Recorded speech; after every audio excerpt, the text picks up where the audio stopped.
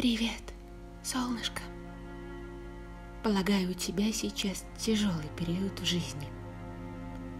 Позволь помочь тебе. Расскажи о том, что ты чувствуешь.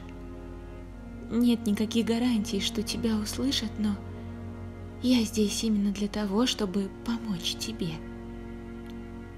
Напиши о своих проблемах, тебе станет легче. Обещаю. Если ты не хочешь ни с кем говорить об этом, напиши это на бумаге.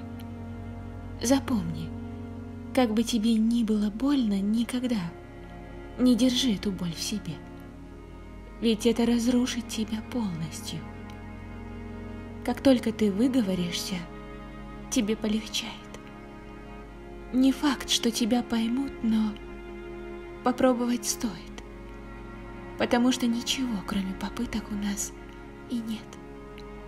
К сожалению, я не знаю, что у тебя произошло, возможно, не стало твоего близкого человека.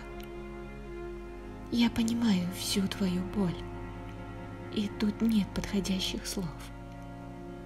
К сожалению, она всегда будет с нами.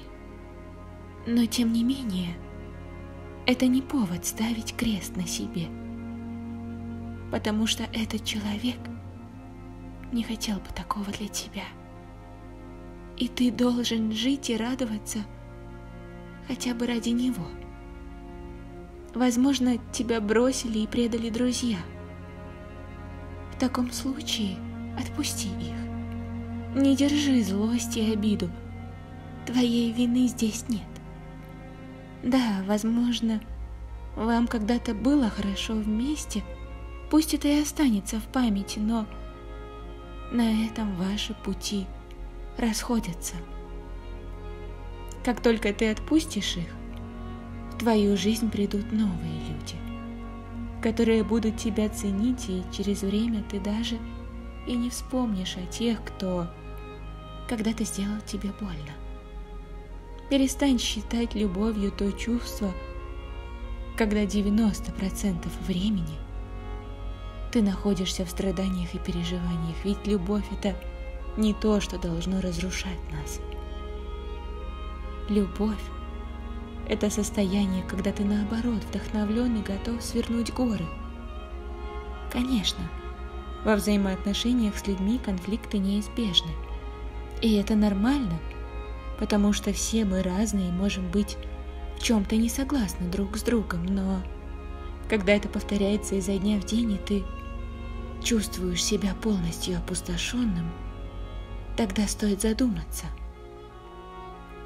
Очень часто мы путаем любовь с обыкновенной привязанностью.